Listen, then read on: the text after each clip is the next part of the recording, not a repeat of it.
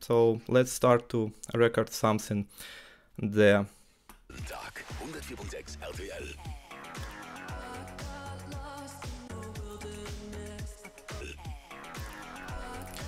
Yeah, okay, so now now it's looping.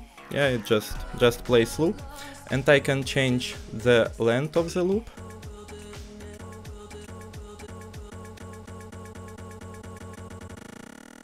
And I can can get really like really short and then I can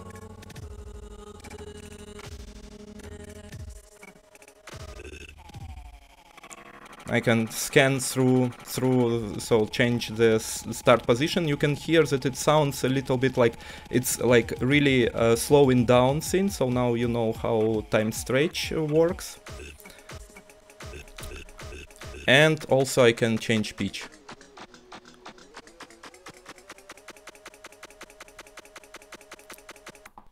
So this is uh, this is the thing that we will try to um, try to like explain how to how to build. And um yeah let's um, let's go to to the code. So to build this kind of uh, this kind of um instrument uh, sampler looper whatever that deals with a with some amount of data we need um, we need a buffer we need some place in memory where we can um, place our uh, sound. And on Daisy Seed, uh, there is uh, Daisy Seed comes with uh, 64 megabytes uh, SD RAM, which is uh, enough for up to 10 minutes audio. So for today we will use only 5 seconds uh, from them. And um, basically what is a buffer?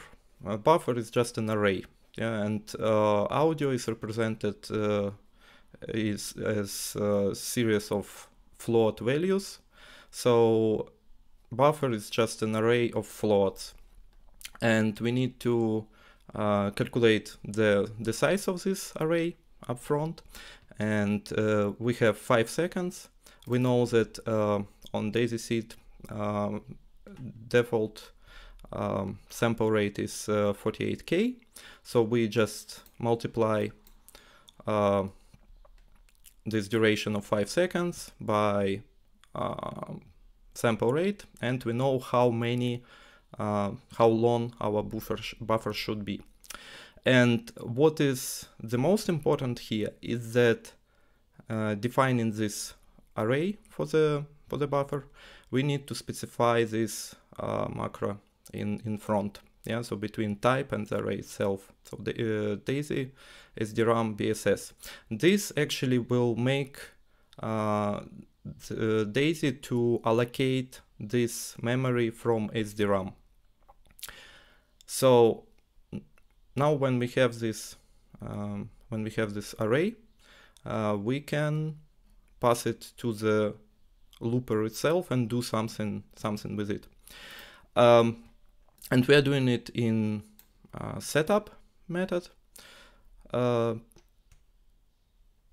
two uh, two things about uh, this SDRAM SDRAM memory. So first we we can we define it as static, but uh, we can work with it actually work with it only after initialization of the of the uh, board itself. And uh, so here we have the, the call to ini initialize uh, daisy itself. We pass uh, the sample rate of 48k and uh, then after that we actually initialize looper uh, passing the buffer itself and uh, length of this buffer and that's basically everything that is needed for for looper to to work, except controls, of course. And uh, if we go to looper itself, which I defined as a as a class in a separate file in this sense, in this case. So here we have uh, this init method, which uh, accepts a pointer to the uh, to the buffer. So when we pass this buffer, we don't pass the, buffer itself. We uh, pass the only the pointer to the first element of the array. And pointer is just a, a memory address. Yeah, so it just says, okay, here's your start from here, and this is your length. And uh, on C++, how it works uh, is uh, any array passed to the to the function as an argument, it's uh, automatically uh, turns into the uh, into the pointer to the first element. in this case, we have like one single dimensional array, so we're talking about mono in this case. Uh, if we want stereo, then we need two arrays and either pass them separately or pack them in uh, like some package that we can work with as a, as a stereo if we want to process both buffers every time simultaneously. So what are we doing here uh, in this method?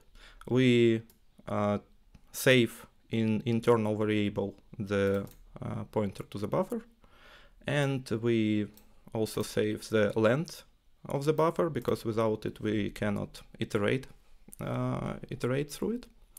And the next step I find really important is we uh, actually reset everything in this buffer to zero. And uh, this is really important because uh, if uh, if we don't don't do this, this memory that allocated it it can contain whatever, and it's it it can sound really unpleasant if if nothing is recorded on top. Yeah, so it's uh, like a rule that I'm always following and I recommend to follow it uh, every time when you acquire some piece of memory. First what you do is uh, uh erase everything, set it to zero or whatever is initial value there.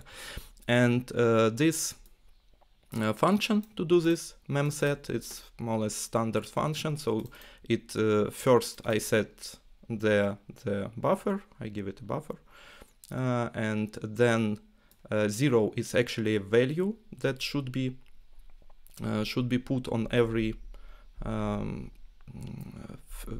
should this buffer should be filled with these values.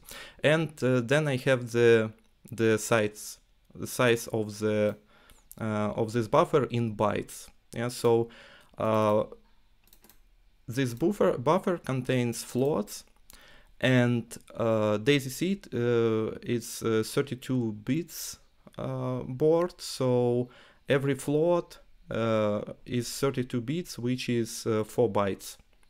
So this size of float will give me 4, and then I multiply it by uh, buffer length so I know how many bytes I need to reset to zero. So that's basically, so we created buffer, um, send it to looper, and from here, we can start building, actually doing something with it. But before we go into the code, I would like to switch to slides. Hopefully I can do this. Yeah. Yeah, and maybe there are some uh, questions already from uh, yep, someone, great, some great. people. Mm -hmm. uh, I see that Omri is asking uh, if the 10 minutes of the DAISY, the limitation is on 48K. Mm -hmm.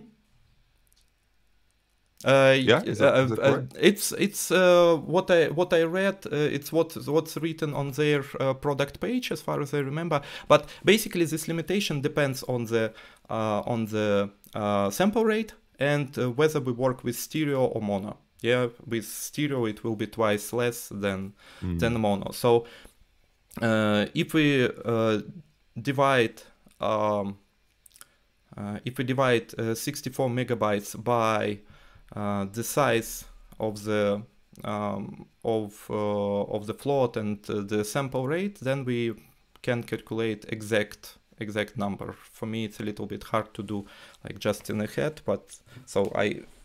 Uh, if you want like real real real number how how many it should be it's uh, more or less simple arithmetics to to calculate it yeah yeah makes sense okay cool um, yeah, I don't see any uh, questions. Maybe we could uh, go ahead to the slides. Yep. Uh, can you see slides now? Uh, I cannot see it yet because I'm like uh, I'm actually seeing the live stream and the stream is uh, yeah there's like a, time between. Okay. So I'm, I'm assuming I'm seeing it. I, am okay. I'm still in the in, yeah. Okay. Like let's let's then just yeah just go from there. Oh, I do I do have a question now. Okay. Oh, and and they can see the slides faster okay, than I do. Great. That's great. good to know. That's great. Uh, but uh, could the buffer be saved uh, to a micro SD to play different saved buffers? Uh, hey Gary. Uh, yeah, I mean you you can of course you can communicate. So uh, you can uh, connect to to the board. You can connect SD card and you can play from from SD card. So but it's uh, yeah it requires some additional additional work additional uh, hardware additional code to to manage this. So yeah theoretically in general it's possible to to work with sd card. Yeah. Okay cool. Yeah let's continue. Yeah. Uh, okay so now we we've got this uh, this buffer yeah that uh, you see on the top i mean it's like smaller than it's uh, actually is. It's uh, way way bigger and yeah as i said already the beginning of it it's actually just a pointer to the uh, to the uh, beginning of the um, pointer to the beginning of the um, mm, of the of this array slice it somewhere from from SDRAM. And the uh, the buffer length in the end, it's actually buffer length. It's just cut a little bit. I, um, it actually shows the the length of the buffer. So usually, so uh, what we are going to to do here, we will uh, use the concept of so-called circular circular circular buffer. Uh, so uh, what uh, what does it mean? That it's always the reading and writing it's always happen in cycle. Yeah. So once it reaches the end of the of the buffer, the it starts from the beginning so it all the time circles so here uh, these two two arrows red one and green one uh, they are uh, one is write uh, like write head yeah and another one is read head it's more or less like on on tape machine you have something similar yeah you have two two separate heads and uh, in um, like classical circular buffer uh, read head always follows the the write head yeah so it's like behind. So it's first writes something and then it reads. And um, this uh, distance between them, it's actually delay.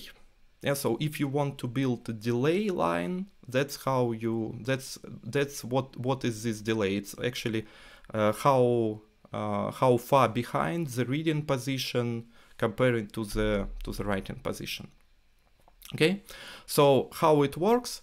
If it if we like try to animate it somehow, so it write something, read something, and at some point when red uh, right head already um, uh, reached the end of the buffer, it starts jumps to the beginning, and uh, the read head still continues continues there, so it, it just continues like this, and yeah, so that's that's basically uh, that's uh, continues until until we stop this or uh, or it will just continue forever.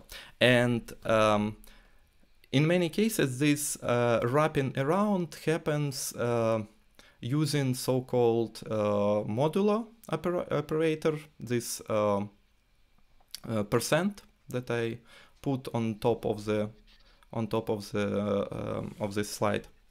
And if we just jump jump to the code, I will just uh, quickly um, give uh, if you if you uh, never seen this uh, this operator before I want just to quickly explain you what what uh, does it do so if we have a uh, let's say if we have 5 modulo 2 the result of it will be one. It's actually remain uh, remaining uh, of the division. Yeah, so by, uh, five by two, you can have like two. Yeah, it one one remains. But if you mm, do it another way around, so if the first operand is uh, less than the second one, it will always be uh, the same as the first one.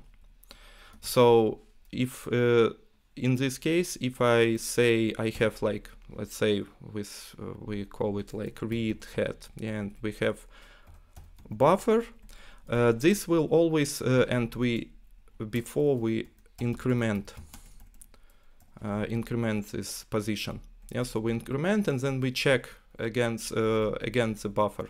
It will always remain return the same unless read is actually equal to the buffer. At this point, the remaining will be zero, so read will effectively, uh, so we say like read equal read. So it effectively will jump to zero again. So it's like usually the same result can be done with uh, just simple if read equal buffer then we say that read is zero. Yeah, so the result will be the same. It's more convenient to do it this way.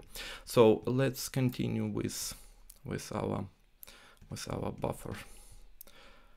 Um, yeah so that's uh, how the like classical circular buffer works. Uh, there are a little different flavors yeah so circular buffers in general they are used for a lot a lot of different things in audio development. So from actually uh, doing this uh, like delay lines and all this stuff to like passing data between processes and um, also uh, behavior is a little bit different than that uh, like um, read head can uh, can be that it just follows uh, the write head just right behind it like on the next next byte.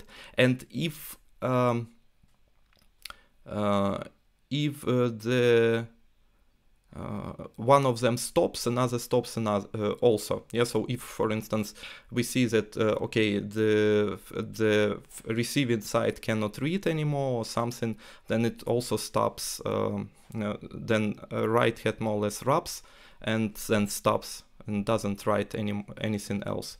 Uh, with like audio with delays, it's more or less like just continuous. So there are different different flavors.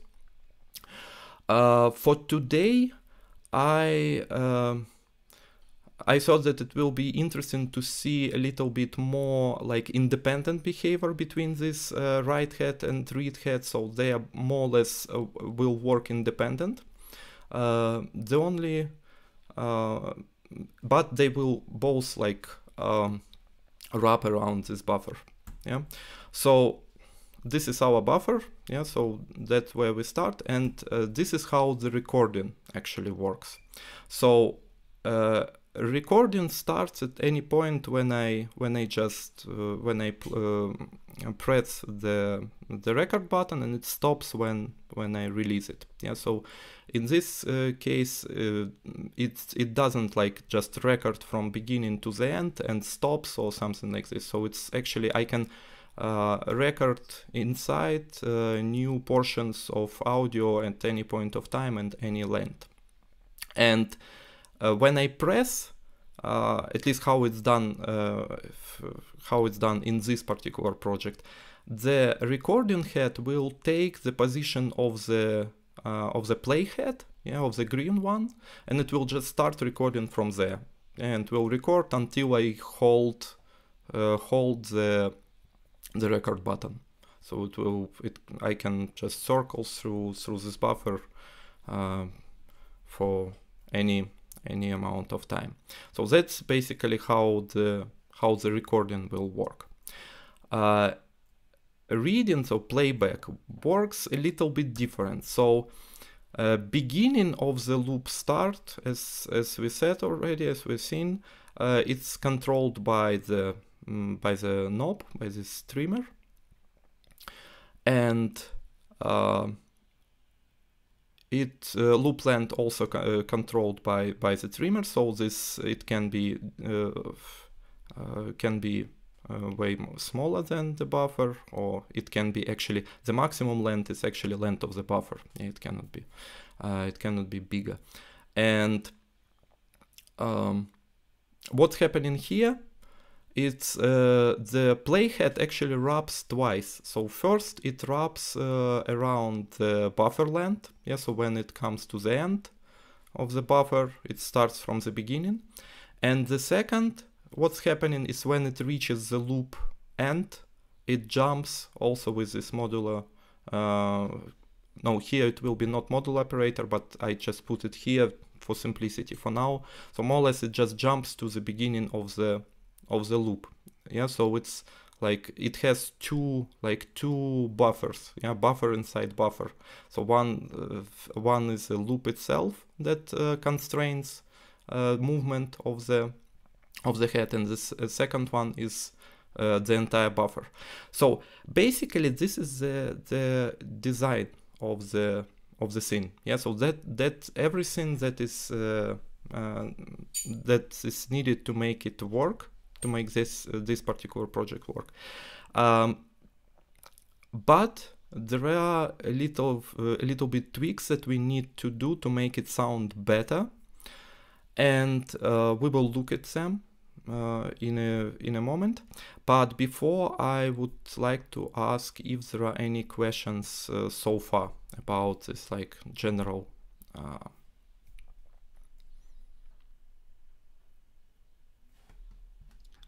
Adam really likes your visual uh, representations of buffers. Thank you. Um, all right. So um, the thing with this uh, with this implementation is that it will work. It will cycle. Everything will be fine. It's simple. It it's just several lines of code, but it's going to produce clicks. It will click uh, why it's going to click? Because in the beginning of recording, um, audio level was some particular. In the end, it was something different. Uh, in the beginning of the loop and in the end of the loop, also the sound is different. Yeah, so and uh, there is no guarantee that they will somehow match and will will somehow uh, work nicely together. Also, when we change uh, change the loop length and loop start, it also uh, will click because uh, it just uh, breaks the normal movement uh, of the of the playhead. Yeah, it will just jump then. It also will create some clicks. So there are different techniques how to mitigate this. for today, I I at least I hope I uh, chosen simplest uh, at least one of the simplest to like give you uh, overview what can be done. And um, so let's start again with the with the recording. Oh sorry. Wrong wrong screen. Yeah. So of course, if we don't want clicks in the beginning and end, what do we need to do? We need to add some fades, fade in, fade out.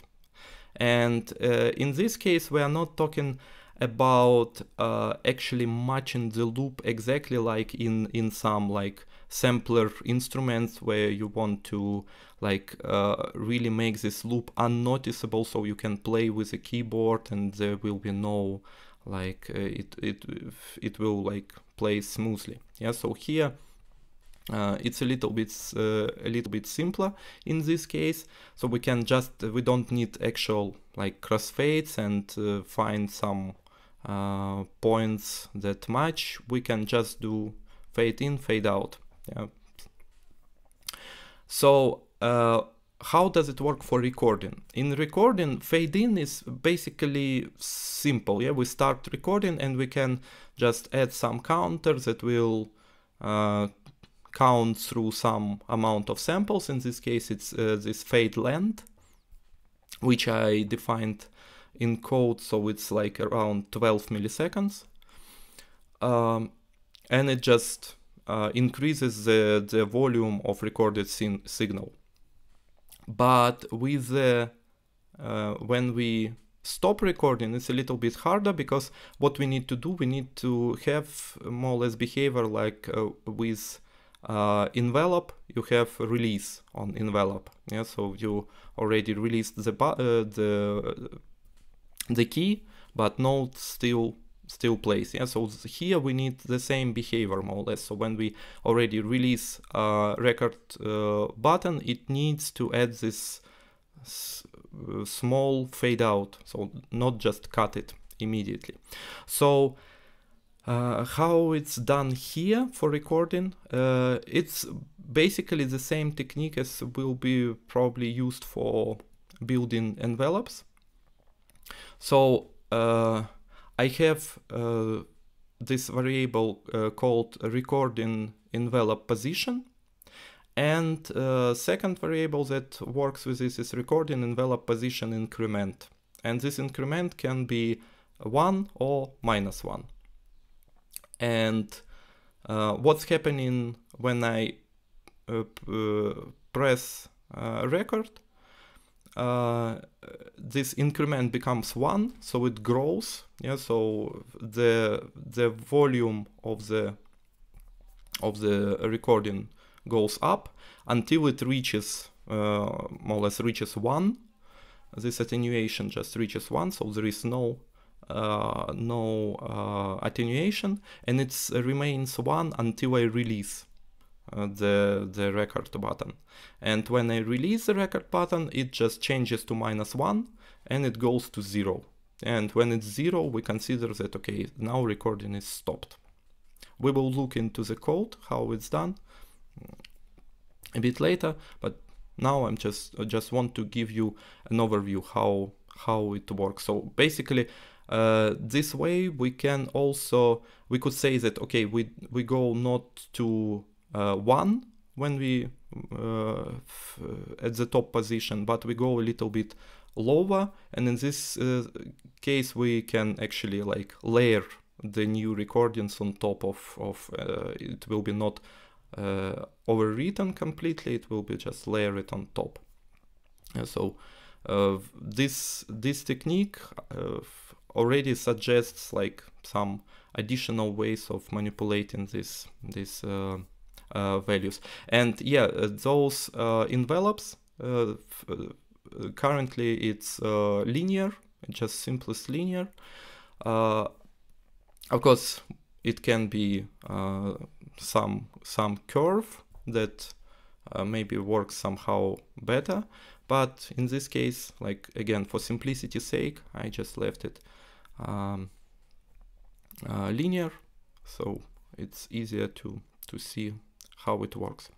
For playback it's a little bit different because with playback we know exactly when the loop ends. Yeah, so in this case uh, technique is the same, but uh, it just uh, traces the playhead position uh, relative to the to the loop start and end. So when loop starts, it uh, it increments again to one and then it sees okay uh, it's actually fade length until the loop ends so it starts uh, going going down. So pretty pretty simple in this sense.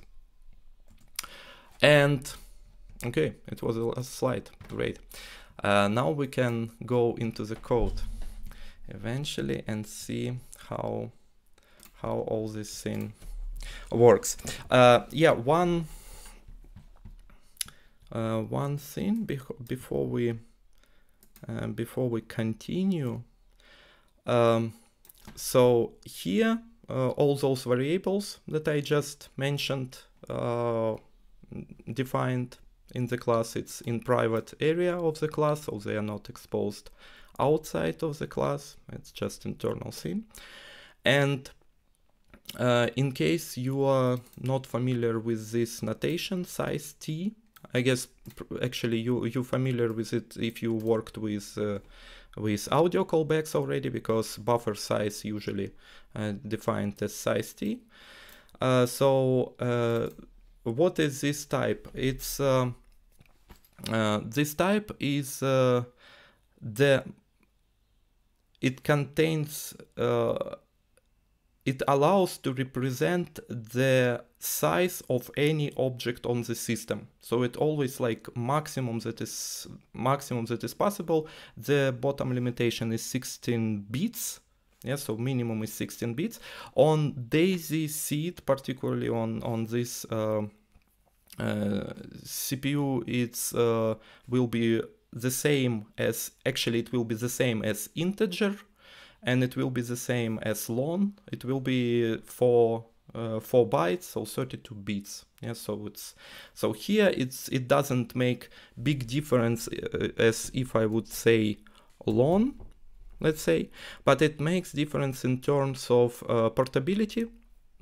If we want to reuse this looper on some another platform which has uh, different sizes, and uh, yeah, so this is like the let's say it's like proper way of doing it. Yeah so it's uh, when uh, usually when we specify the size of arrays and uh, iterates through arrays and especially in this case when we are dealing with big numbers uh, we are using this type.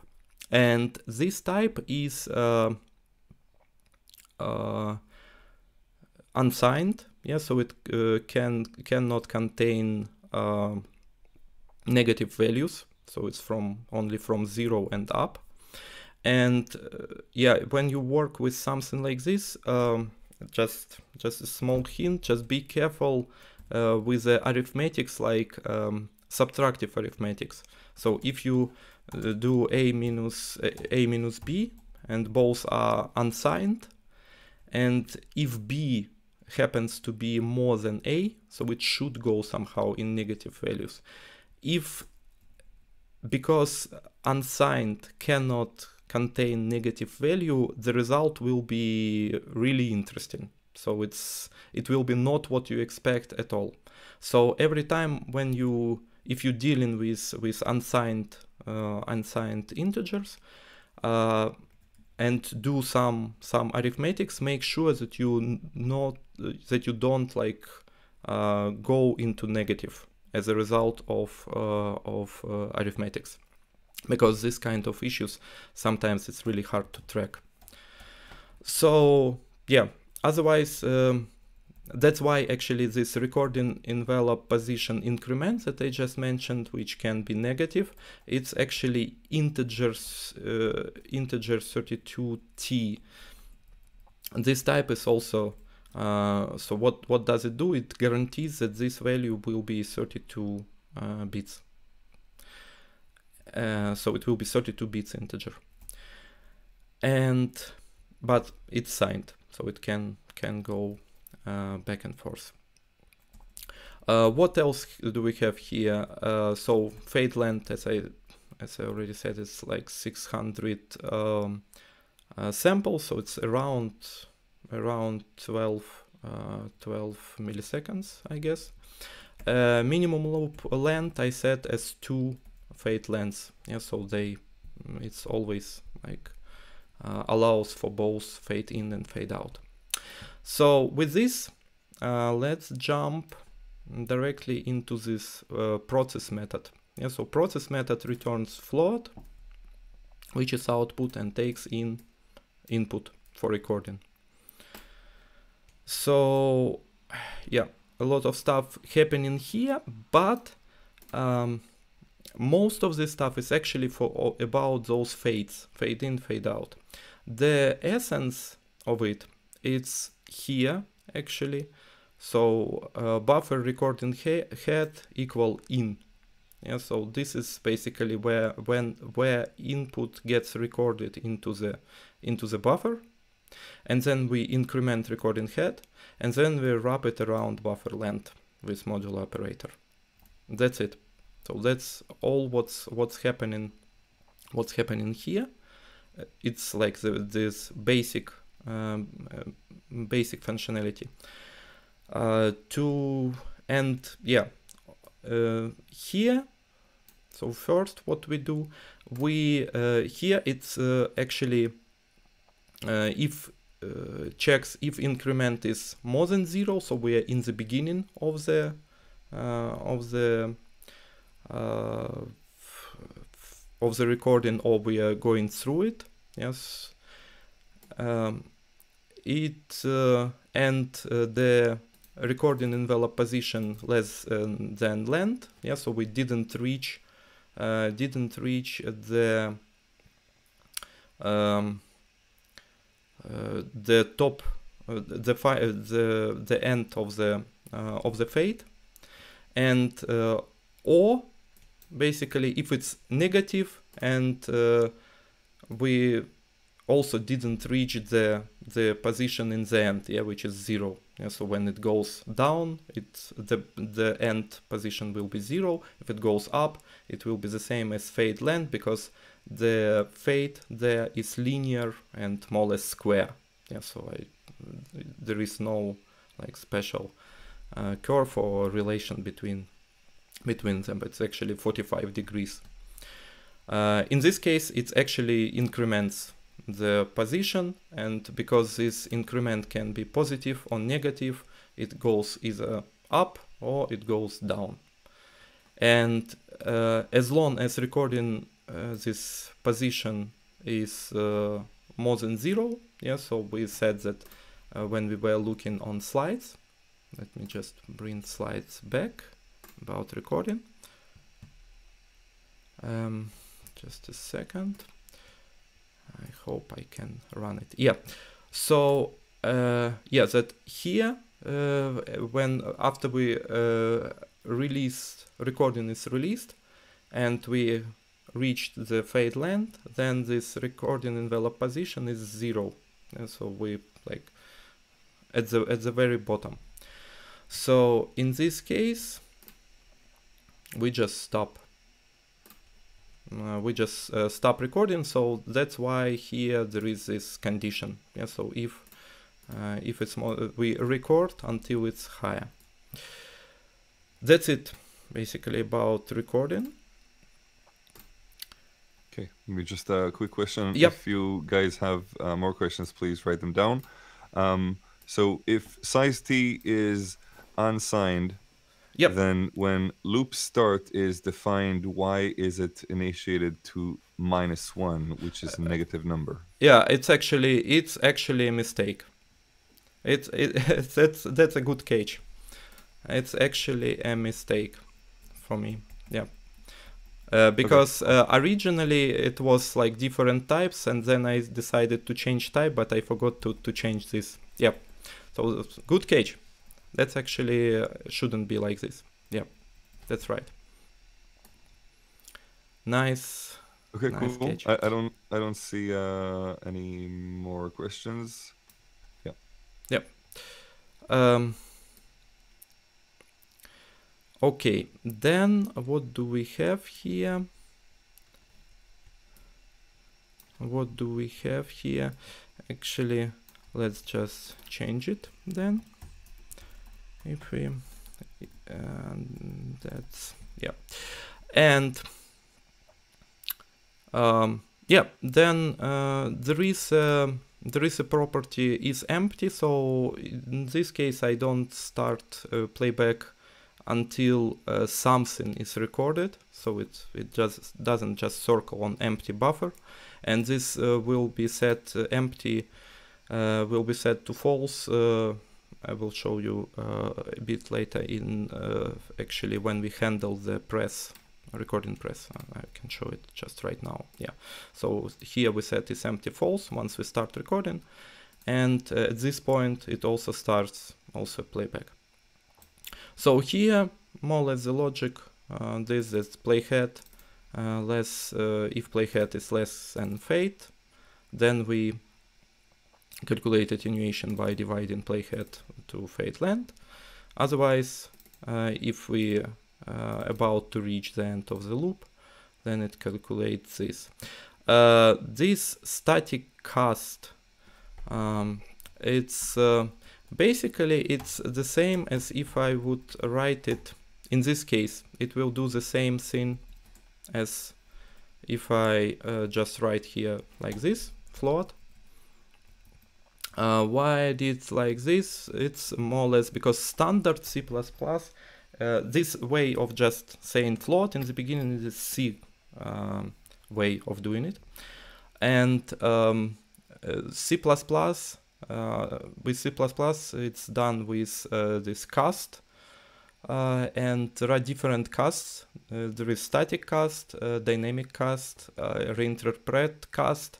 more or less, with these mechanics, with with these semantics, what is the aim is to tell compiler um, more precisely what do what do you expect from from from it yeah so what what compiler because uh, depending on uh, what is uh, what is the type that we are trying to cast and what is the receiving type uh, compiler will try to do a little bit different things. And if here we just say like just float without specifying static cast it will uh, try to choose the way how it should be casted and it's not always the the the best one.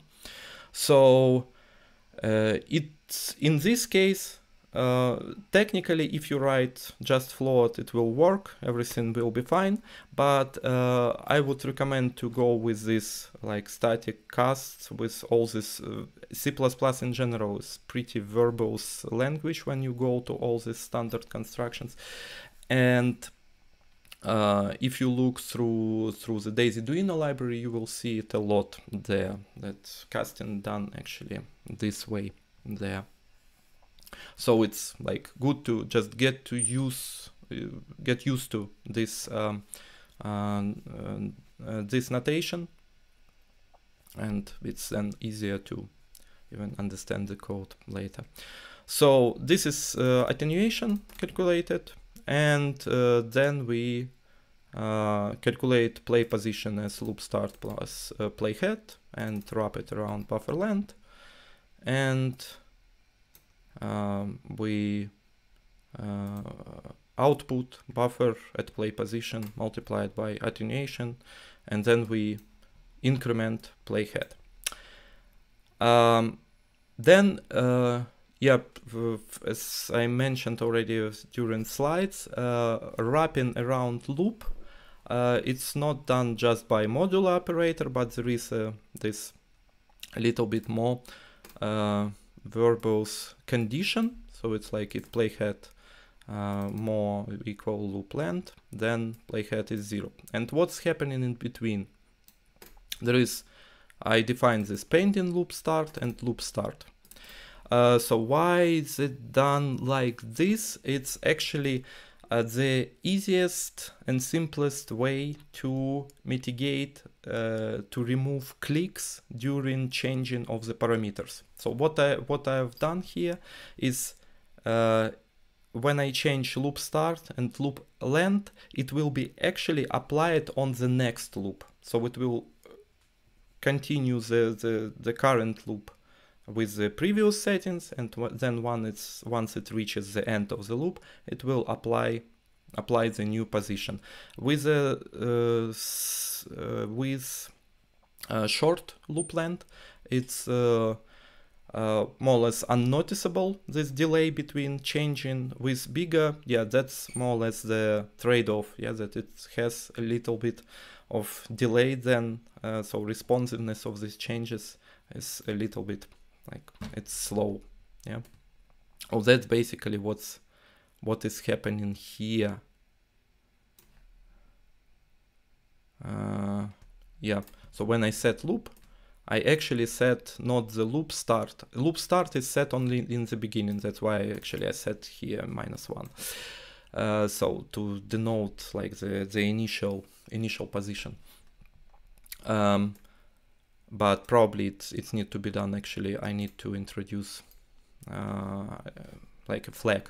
Yeah, that it's like initial setting. Um, so I set actually pending loop start yeah, basing on the on the values that I that I receive here.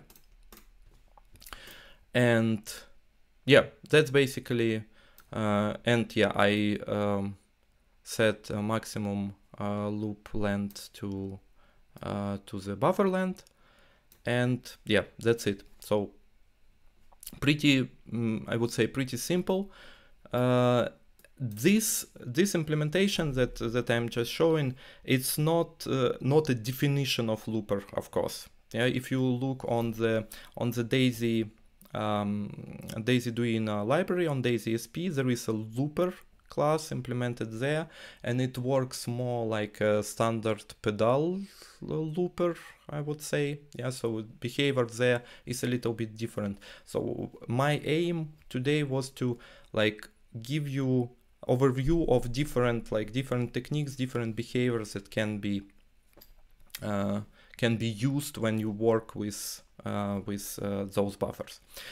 And um, that's basically uh, everything that that looper uh, class itself uh, has. A couple of things that I would uh, probably add here, what I want to emphasize, is that uh, Maybe before yep. we continue, uh, so quick uh, two questions. Um, is the purpose of cast simply to change types? Um, yes. Like from int to, yeah. Yeah, so here it's uh, actually it's for this because if we will uh, divide uh, playhead by this and both are integers, the result uh, uh, will be like it will treat it as integer.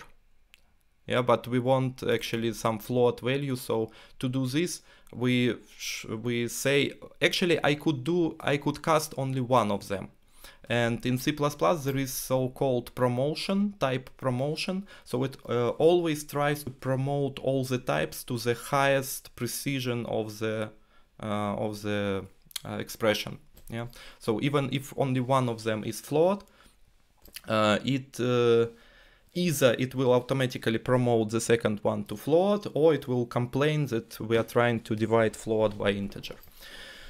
So in this case, it's uh, to get to get it uh, work, treat it as uh, as floats and divide as floats, actually, and not integers.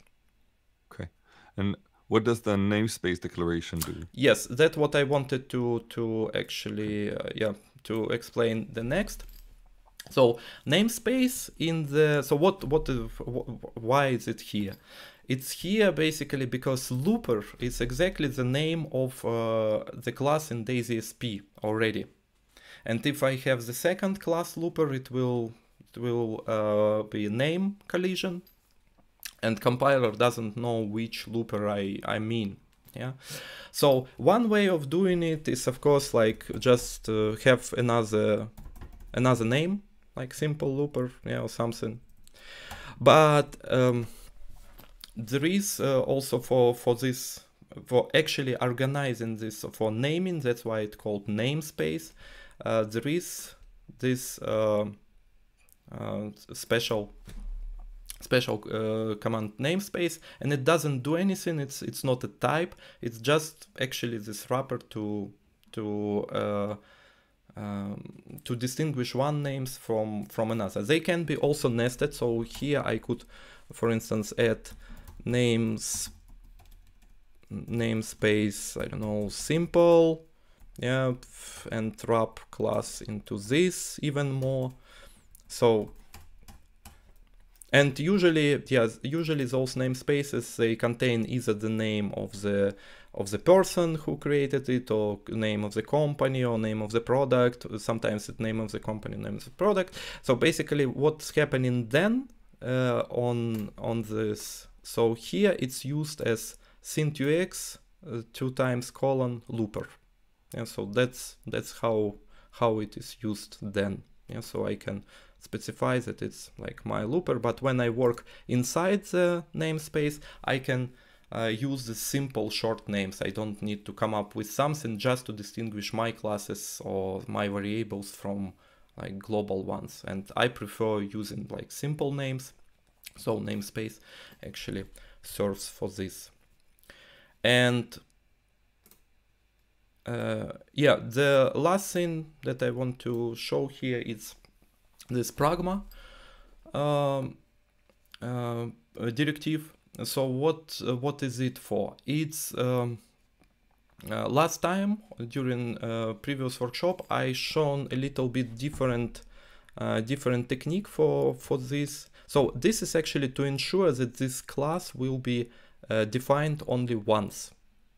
And another uh, another way of doing it you can see uh, both used is actually ifndef let's say I say um, x looper h I say define x buffer h and in the very end of the in the very end of the of the file I say and if. Yeah so this another technique of, of doing the same. Uh, what is the difference? Uh, the difference is that um, this ifndef it works actually on the on the content level. Yeah so it uh, actually what does it do? It uh, once this variable uh, this variable is defined here and it sees it again somewhere in another file. Let's say compiler decided to copy this file somewhere for some purposes yeah? So you have already two definitions. Still it will be only one for this for uh, one definition because it will see that okay this thing is defined already. I will not do anything else. So i will not oh, sorry. I will not continue in contrast pragma so this uh, this uh, this define works on a text level the pragma works on the file level, so it uh, ensures that this file is processed once. So theoretically it can fail if compiler does something actually clever and tries to like copy those files multiple times. But uh, in mo most cases, uh, at least in my experience, it works. Um, it's the same widely used as uh, as this if def nowadays. It's uh, standardized already it's uh, in the compiler so it's it's there and it's shorter. It's somehow shorter looks better so that's that's why I'm, I'm using it. So at least you know that you have these two two choices. Yeah you can do this way or that way. And yeah with this probably I would switch to main file if there are no more questions about about this context? Uh, no, this was great. Uh, people actually really appreciate the structure that you add to, to these uh, codes. That's super nice. Oh, thanks. Um, so yeah, ah, one more one more note about all this stuff. So I mentioned that we have the pitch shifter, yeah, and this pitch shifter, as you can see, it's uh, separate. It's not inside the looper. Yeah, I could uh, perfectly say that, okay, pitch shift is a feature of the looper and it should be there. Why I didn't do it like this? To make looper portable in this case. Yeah, so uh, as you can see, this file doesn't include Daisy DaisyDuino or any other library, which means that I can take this looper and use it on any other any other board yeah, which provides, so the most important that I provide it with a buffer. Yeah, so I, I can allocate this amount of, I can use it for VST plugin, for instance. Yeah, I can use it for, for any other, other purpose.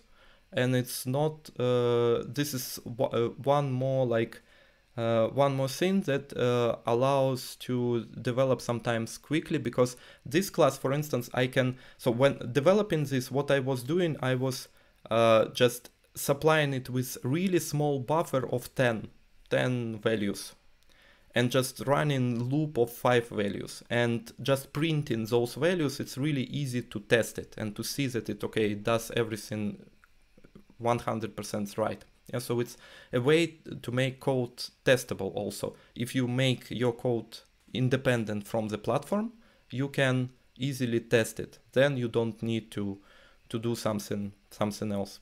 Yeah, to you don't need to supply somehow those those parses. Sometimes you just cannot supply them, uh, especially in embed because uh, your classes, library classes, uh, depend already on some hardware abstraction layer and all this uh, the board should be somehow involved in this. So this is one, of course, if it's uh, some, if you need to use some oscillator inside, then it can be a little bit more difficult if it's not your oscillator, if it's library. But still, uh, uh, what I would recommend doing uh, doing it is try to uh, to abstract what you are doing as much as possible from the from the platform. In this case, you you can actually uh, move your code uh, better. And these types like size t and using those kinds of types, it actually adds to this because if you just use integers like plain built-in types, that's one of the main problems with portability of C++ code. Um, yeah, so let's go to the to the main class. So yeah, here we have this looper itself, we have pitch shifter, uh, and if you look on audio callback, it's really really simple and small. It just uh, looper process. Uh, in in this case, my input is wired to the uh, to the second uh, input, so here it's one. And uh, here also I've, I would like to emphasize this that it's the same as uh, with initialization of the of the buffer. Actually, it's great to initialize everything. So whenever you define something, some uh, some property somewhere, initialize it. So set it to zero if it's boolean, set it to false if it should be false. So because uh, ideally there is no guarantee yeah, I mean, strictly speaking, there is no guarantee that something will be um, uh, will be initialized to to some particular value. So uh, that's good, like good habit to develop. Once you initialize something, uh, define something, initialize it. And the same here. So I work with mono, but I output both both uh, left and right with the same because uh, I don't know maybe I will uh, connect somehow accidentally to another buffer and I don't want to hear unprocessed buffer. It sounds not very pleasant and it can even damage your hardware. So mm, it's also somehow good to good to do this. So either you output the same to both left and right if you have only two outputs or you explicitly set zero to one of them. Yeah, so you know that it's uh, it's zero it's safe. Um, so initialization is uh, so setup method is also pretty simple. Yeah so part of it we've seen already it's uh, initializing daisy sample rate taking sample rate because we need to provide pitch shifter with this sample rate. Then we set pin mode to record pin input and we start audio callback. So pretty much the standard routine of the of what what uh, of initialization. And quick uh, question from yep. Adam. Um, so on line 26, when you're uh, using uh, the input 26, uh, let me see, just a second. Yep. So you have in one and you have in zero. Um, does it matter which one you're using if it's mono or it's no no like it can be zero it can be one they are actually yeah so they are independent completely so on my hmm. uh, on my instrument on Spotykach I actually use uh, one and uh, uh, zero and one as for two completely separate processing channels. So they are not going as stereo, they are just two completely separate mono. So you can do whatever and the same for output. You can output uh, say that okay it's two completely different like um, different outputs. They have nothing in common. Yeah that's uh, yeah adam that's in zero and in one. Uh, so in zero i think is uh, pin 16 yeah. In one is pin 17 and then out is 18 and 19 yeah and um, yeah. yeah and by convention, usually they are referred as zero is left and one is right. Yeah, just because we are yeah. probably. And and actually, um, it might be interesting to think about it um, from from like functionality standpoint. If you think about mutable instruments outputs, for example, in uh, Plaits, for instance, you actually have two outputs. Uh, if you have a stereo out, you don't necessarily have to use the stereo out. You could use it for creating two different outputs. One of them could be one um, effect, and another one could be an, another effect. Uh, it's just um, it's pretty cool that you could actually do it, and it could be really uh, it could it could be used in a very creative way. Yeah. Okay, then we go to loop. And in loop, what we are doing, we are reading parameters. Uh, we're reading uh, controls and setting those parameters. So here I'm using fmap uh, for uh, for mapping the the value of the of the knob to between 0 and 1 so this is for loop start just goes from 0 and 1 and yeah this is also uh, a good uh, like good habit to make your uh, when you define controls, when you define some inputs for controls on your class, on like receiver, yeah, so you expect here float and you expect normalized value. This also allows you to easily uh, change uh, change the type of control, change uh, again move between platforms. So it's it's way easier to work with with normalized values in this case. Uh, loop length defined the same, but here I'm using this mapping exponential, so the response of this loop length is not linear, it's exponential. So um, that is what what I wanted uh, to uh, to show that uh, the most like the the most um, well-known case when you need some uh, curved response from the button is when you control vol volume let's say yeah? So when you control volume you need to, linear will not give you the same hearing perception as if you uh, if you do it with a with a curve. But that's not the only case when when you might need this. So in this case uh, why it's exponential it's because the um, because loop length changes between really small to like relatively big. Five seconds is already big yeah comparing to the to the smallest like several milliseconds. And the the shorter is loop length the more precision you want in response. Yeah so the the less the, less responsive it should become. Yeah so you can actually really tweak how how it works. So that's why it's exponential here. Um, yeah, then it's just setting uh, loop start loop uh, length. And for record, it's even simpler. It's just reads uh, recording pin 01 and that's it. And uh, then we set in this set pitch. Uh, set pitch is a little bit like it, we don't set it uh, directly to pitch shifter. I have this function so uh, what's happening here in in this function? Um, uh, the the uh, pitch, yeah, we I'm going from like uh, negative to positive, yeah, so up and down uh, with the pitch, and the thing here that when I set uh, when I have knob in the middle, I want to be sure that it's zero. Yeah, and if I don't, uh, usually it's really hard to find this like middle position. It's almost impossible because floats in general, floats if you if you work already with floats, um, there even if you work with integers in this case because of a jitter you have always the values from the from the um, knobs. There is a jitter a little bit yeah so it always it, you can it's really hard at least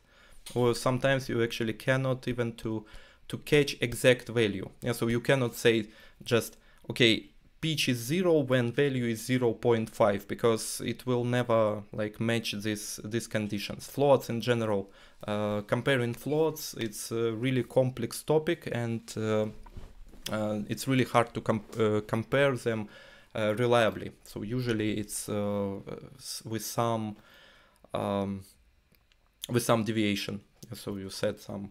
So what what I'm doing here to mitigate this, I'm allowing a little gap so 0.1 gap in the middle of the of the turn of the knob. Yeah so i say that pitch value is changing only until I reach 0.45 and then 0 55 yeah and here i uh, it's totally fine to compare with these floats because i don't need exact comparison. I just need to be somewhere in this area.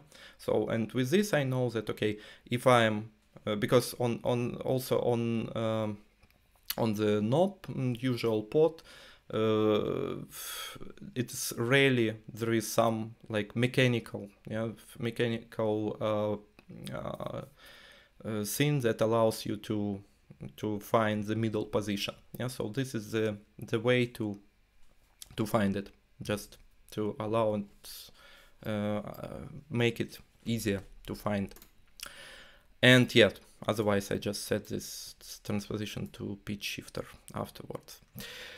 Um, yeah and that's probably it. In general uh, one more thing that I would probably also tell is um, how the pins defined. Uh, it's um, so in this case uh, I'm using simple fix board and for simple boards uh, I created uh, this uh, simple daisy header. And uh, what this header actually what what does it do? It um, maps between the footprints on the board on simple board and pins on on daisy. So here what uh, what do, uh, what do I have? I have this I defined it as macro so A is uh, for pins that capable of uh, audio digital conversion. There are 12 on Daisy Seed, and D is uh, uh digital pins. Yeah, that every more or less it's all pins except audio I/O and uh, power and ground. And how it works? What what what is why uh, do I have this header? the function here is that if I if I say A, it uh, suggests me the only those 12 uh, 12 uh, numbers, uh, 12 footprints on simple board that uh, capable of A. So I don't need to guess which which footprint I want to I want to use. Uh, so whether this footprint that I have, that I am that I want to grab if it's can if it's actually one of analog or it's something else. Yeah, with uh, digital, it's way the uh, choice here is way bigger because more or less, yeah, all the pins can be can be digital. And this header is available also on GitHub. There is a repository called Simple Templates. So for now, it's only for uh, for Daisy Seed mapping. Uh, later, probably uh, we will extend it with uh, with more boards or add more headers for more boards. And um, yeah so uh, try try using it. It's pretty convenient. Maybe uh, um, we should uh, show them the um, the board because some people who don't know uh, the simple board don't really understand what exactly you're talking about. Okay i switched to you now uh, yeah okay that works too yeah Uh, let's see if is this. Hmm. You're seeing my face, right? You're not seeing. Uh, yes.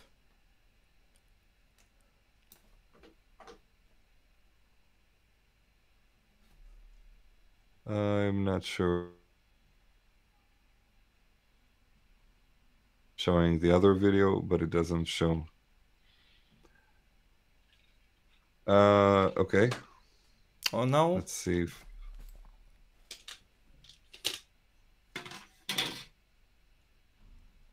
Oh, okay. It's just really delayed on my computer. Like, is it? Like, this is so confusing. Okay, it did actually work. Anyway.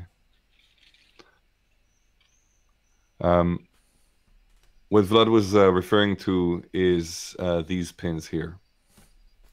So these are um, pins 1 to uh, actually 48. So it starts here at 1 and then it goes all the way to 24 and then it goes 25 all the way to 20, all, all the way to 48.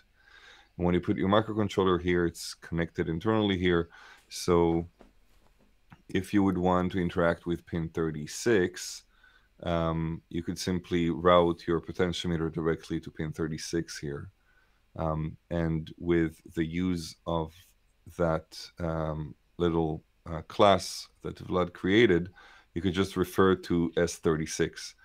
And if you'll try to make a digital pin, analog pin, it'll give you an error. Uh, so it makes it just easier for uh, for getting started and for troubleshooting. Um, yeah. So Vlad, how how how did we um, do? Uh, do you have any uh, any extra things that you wanted to talk about? Um, no, I guess I guess it's pretty much pretty much it. So I guess I I hope I explained everything that that was there. Okay, cool. You want to maybe uh, put the final video so we can uh, wrap things up? Maybe ask if uh, anyone has more questions. You can uh, bring them up on the chat.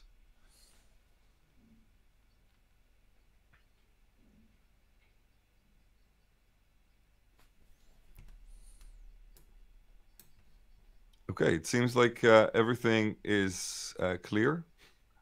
Okay. Unless great. things are not synced and I have no idea what's going on. It's a bit uh, yeah. Confusing. This whole uh, live stream today is a bit uh, challenging. Yeah. Um, can you guys still hear us? Okay, we do have a question.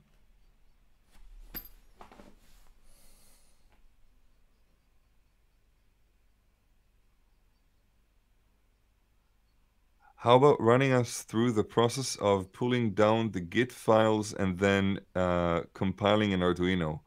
Um, yeah, sure. Uh, uh, uh, Vlad, do you want to show how you take, um, like, just go to the Synthux uh, GitHub and, and show how you take the file from there? Mm, I can try.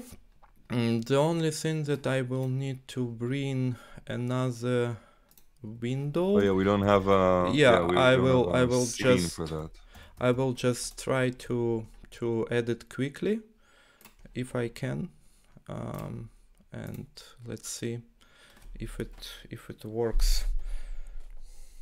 But yeah, I need a little bit of a little bit of preparation here. Mm. Okay, and they also uh, they also wanted to uh, see a demo of the looper. Oh, the demo. Uh, yeah, sure. Uh, just a second. Let's let's first go into.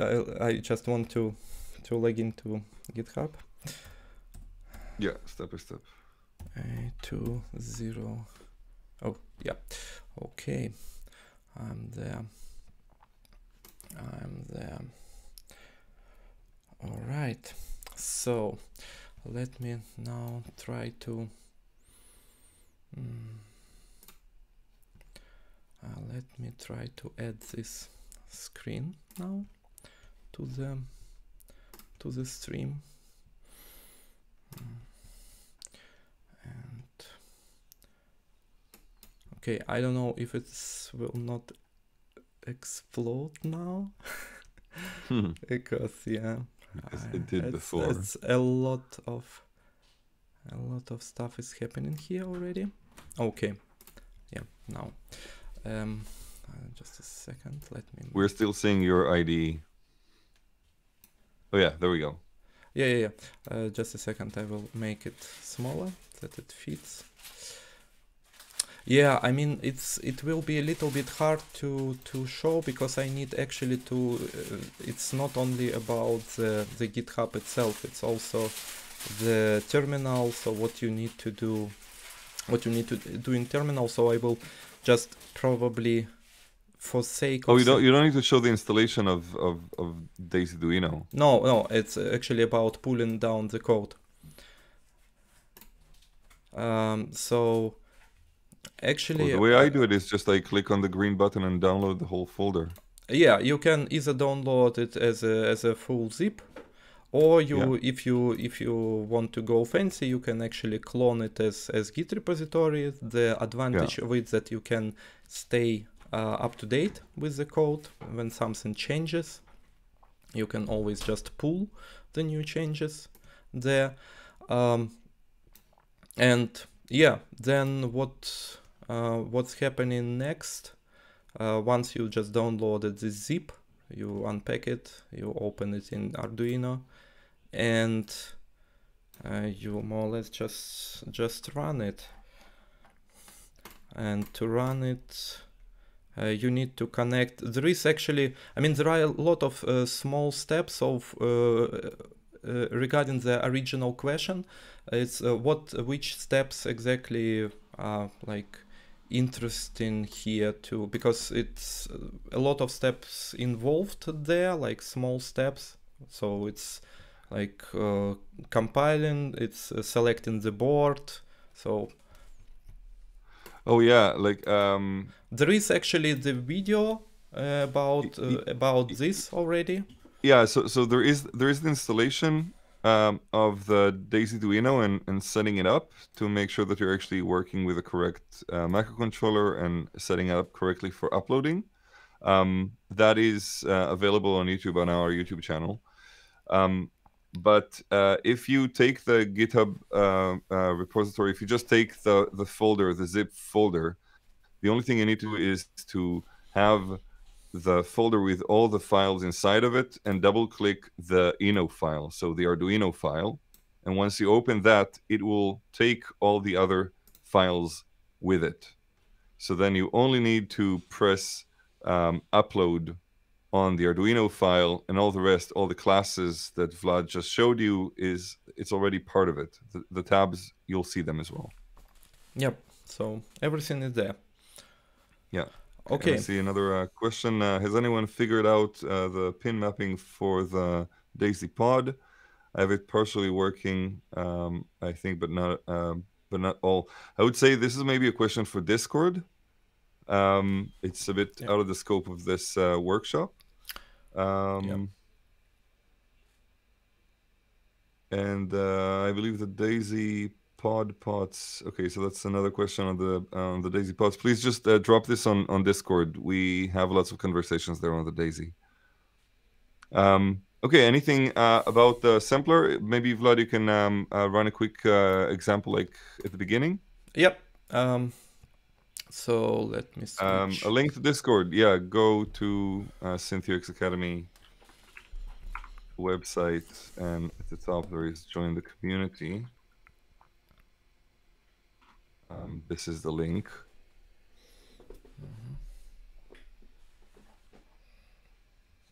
This will also add you to the mailing mailing list. So every time that we run these workshops, you'll get an email from me. Um, yeah, about uh, different activities that we're running. Uh, yeah, let's uh, let's uh, have a listen. Okay, so yeah, um, radio is as an input, and yeah, I just set everything to maximum and let's start try to record something.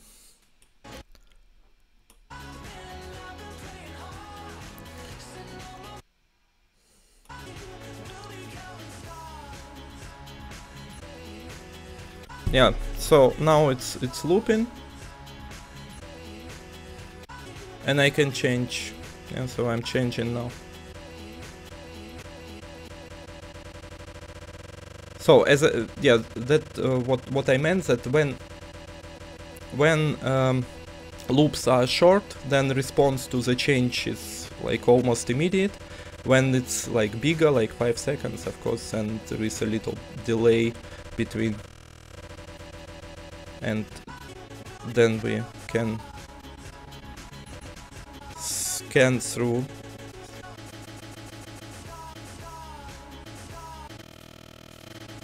And we can change pitch.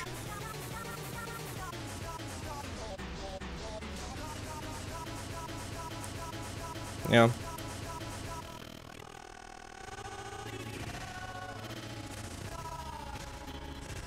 I really like to make this like small loops and then scan through because then it like provides like really interesting really interesting effect. Yeah, it's very cool, especially with with your dual looper. It's uh, one of my favorite things to do with it. Yeah, so yeah, of course, a lot of things can be added here, like reverse playback adds already a lot, uh, and uh, modulations of the um, of the slice position, slice length. That's actually another another reason why it's good to keep uh, inputs uh, input parameters as uh, uh normalized floats 0 1 because like if you take LFO from uh, from DaisySP it's what you will get from from it you will get some normalized value as output and you can then just use it directly you don't need to do any additional conversions. Mm. Yeah. yeah so um, there's a quick question here about um, um, not finding the link on GitHub to download. Um, it's something that I'm also seeing sometimes. It's like on some pages you can actually download, and on some pages you can't. Mm, you know, uh, this is I myself. I never seen it. Uh, so far, I didn't uh, haven't seen this kind of problem. So yeah, that's something that I I need to look at or probably maybe it's also a good question for Discord and someone maybe already uh, seen this uh, this problem before. Oh, yeah, yeah. Okay, so I, I see it as well. Okay, so what happens is if you are on um, this link that I'm posting now, you're going to see a button, a green button code, and then you can click on it and you can download the zip but if you uh, if you're inside so if you're in, inside of simple examples and then DaisyDuino inside of that you only have go to file. Ah yeah that's that's what yeah so download yeah download happens only on the on the uh, top level of the repository. On the top level right. Yeah so okay, you so always you, you just uh, what you probably then uh, can do you just uh, even if you are inside there is always these breadcrumbs that shows you uh, the the way back. So you uh, click the first one like simple examples in this case and then you can download. Yeah that makes sense. So you basically get all the different instruments that vlad wrote. Uh, there is the looper, there is a multi-voice drone, there is a string class, there is another string with a delay, another one with reverb, and another one just a string. Um, yeah, cool. Uh, Vlad, thank you so much again for all the work that you uh, bring to this community. It's uh, um, invaluable. I really, really appreciate it. Uh, people here are also saying uh, thank you so much. Um, thank you. We're going to see you uh, on this, everyone and um, uh, yeah please uh, suggest if you have any uh, particular uh, topics that you wanna you want us to cover or any workshops that you want us to uh, to bring up um, make your suggestions. Uh, if you want to help uh, on youtube like the best thing you could actually do is to write a comment now. Um, maybe just a thank you and maybe uh, also maybe a suggestion or something that you learned or anything like that uh, because youtube is basically learning that this was valuable when people comment. Um, so more people can see it and uh, yeah thank you so much for for participating and we'll see you guys online and we'll see you uh, probably in a week or two uh, with another workshop. Take care.